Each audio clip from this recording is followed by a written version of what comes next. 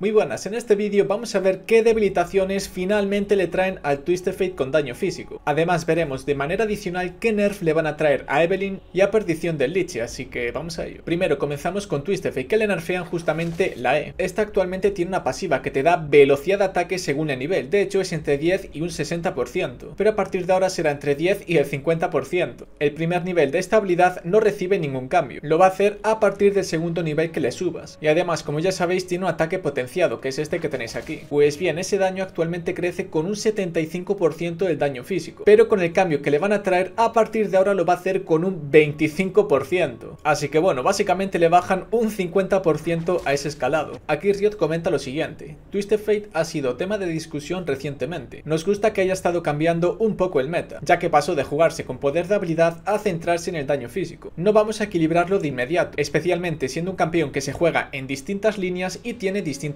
pero haremos nuestro mejor esfuerzo para equilibrarlo lo más rápido posible. El daño de ataque claramente es más fuerte en clasificatorias de alto nivel, y la E es en gran parte la razón de ello. Por lo tanto en este parche vamos a debilitar su versión de daño físico, especialmente cuando tiene mucho tiempo de actividad en sus objetivos, normalmente en top. Y es que tened en cuenta que de Esmeralda para arriba Twisted Fate es básicamente el mejor campeón que puedes utilizar en top. También lo es en mid y de ADC es básicamente el segundo mejor que hay. Y esto es todo gracias a la build de daño físico que tiene, además de que aún por encima se juega con el Ghost, lo cual está dando muchísima ventaja, sobre todo en top si vamos contra campeones que sean cuerpo a cuerpo. Y lo mejor de todo que tiene este campeón, aparte de tener una definitiva casi global, es un aturdimiento que tienes disponible cada 6 segundos. De hecho tiene un 40% de bans, que es una salvajada, y por algo será. Vamos ahora con Evelyn, que básicamente le nerfean la Q. El crecimiento con el poder de habilidad que tiene pasa de un 30 a un 25%. Aquí Riot comenta lo siguiente. Evelyn es una campeona con un perfil de juego bastante único en League.